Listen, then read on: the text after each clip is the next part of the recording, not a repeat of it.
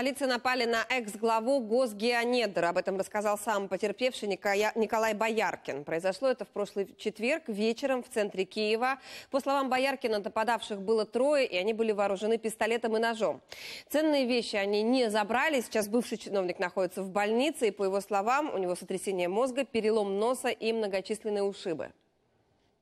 Не, не, не був розбійний якийсь напад, відповідно до якого хотіли б там забрати речі, телефони, там коштовності, а все ж таки це був е, напад е, цілеспрямований.